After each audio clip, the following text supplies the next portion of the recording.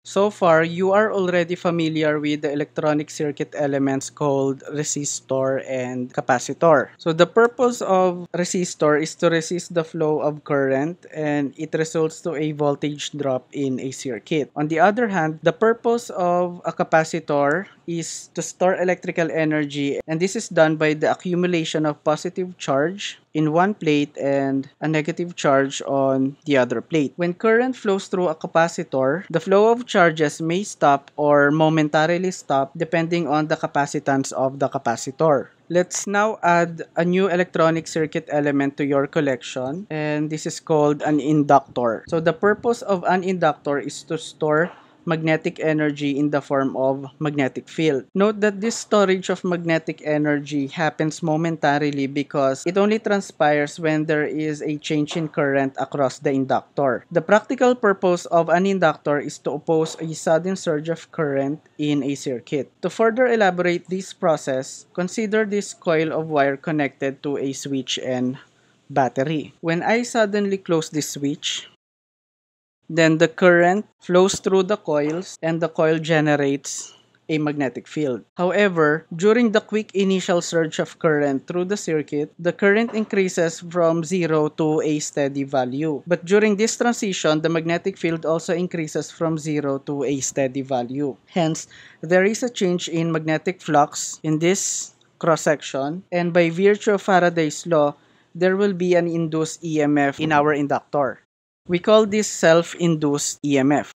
This induced EMF produces a magnetic field that opposes this change of flux. In other words, an inductor basically opposes the variation of current in a circuit. This induced EMF is based on the magnetic flux due to this current. So similarly, if we just consider a single loop here in the inductor, the flux experienced by this loop due to this current is obviously directly proportional to this current. I'll just represent the current here with small i. By the way, we use small i to represent current that is changing over time. But if we consider all loops in this inductor, their effects are additive. Hence, if we have n number of loops, we just multiply this flux with n sub b and assuming that each loop experiences a magnetic flux of phi sub b to get their sum, we just multiply phi sub b with n which is the number of loops and this is directly proportional to the current in the circuit. For self-induced EMF, in order for this to become an equal sign, we must multiply this with a constant.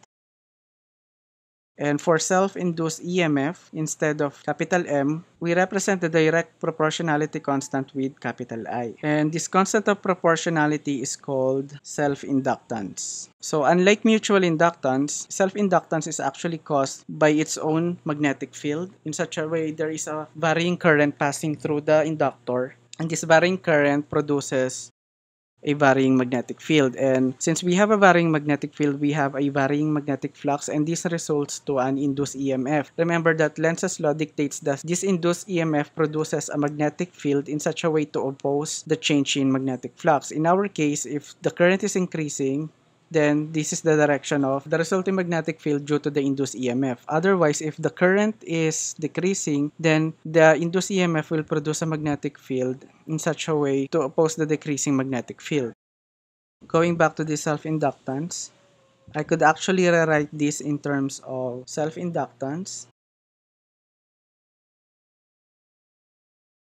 So this is our expression for self-inductance we would like to derive an expression for the value of the induced EMF in this inductor. So if there is a change in magnetic flux through this inductor, based on Faraday's law, there will be an induced EMF. So to derive an expression for the induced EMF in this inductor due to self-inductance, let me take the time derivative of both sides of this equation.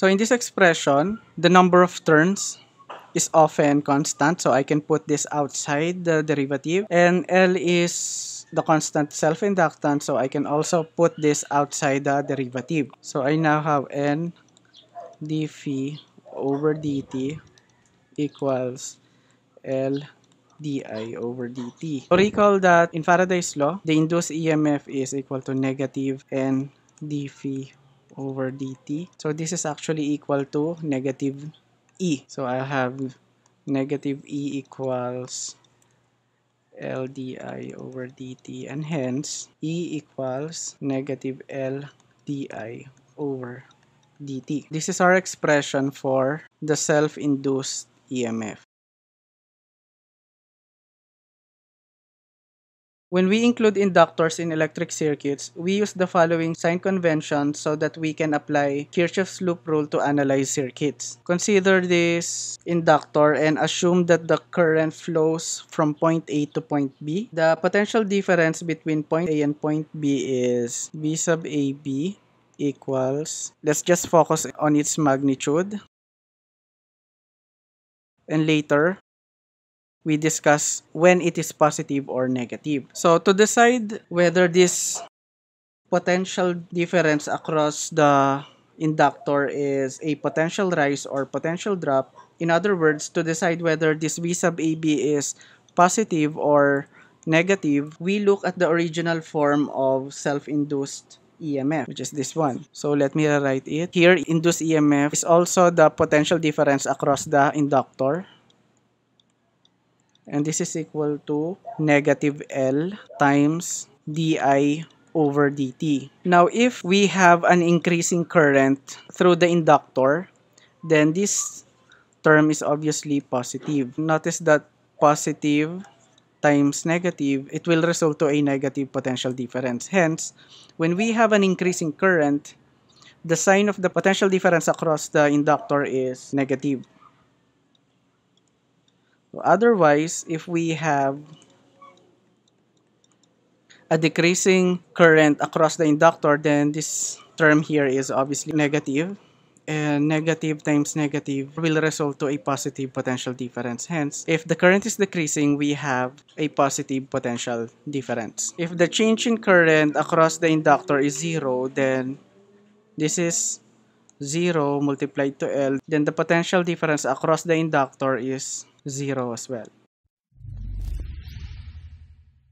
Let's try to use the concept of self-inductance to solve some problems. This problem is from OpenStax University Physics Chapter 14 Inductance, Problem 39. A coil with a self-inductance of 2 henries carries a current that varies with time according to I of t equals 2 amperes times sine of 120 pi times time. Find an expression for the EMF induced in the coil. The given for mutual inductance is 2.0 henries and current is represented by this equation 2.0 ampere multiplied to sine 120 pi t. To find the induced EMF, we use the expression we derived earlier, which is negative L di over dt and just plug the expression for current.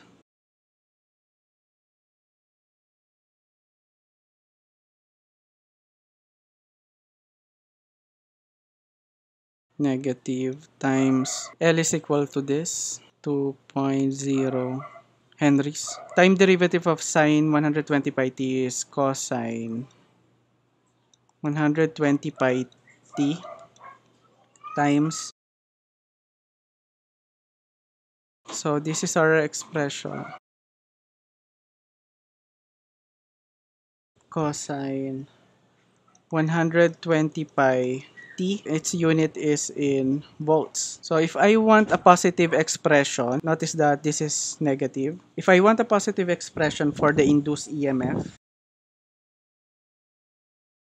recall that sine alpha plus beta is equal to sine cos cosine which is sine alpha cosine beta plus cosine alpha sine beta. So to convert this into positive sign, notice that I have to copy this expression cosine with a negative sign. So I'll try to force this with a negative sign and then just try to get rid of this by just plugging pi over 2 because cosine pi over 2 is 0. So in order for this to become a negative sign, I'll just add a negative pi over 2 here equals sine alpha cosine pi over 2 which is 0 this entire term becomes 0, minus cosine alpha sine pi over 2 which is 1. Since I have now negative cosine something and this is negative cosine something, I can replace this with this expression. So I'll now have a positive expression for the induced EMF which is 480 pi sine 120 pi t minus pi over 2. Don't forget to like this video, subscribe to my YouTube channel, and hit the notification bell button for awesome updates. Thank you for watching!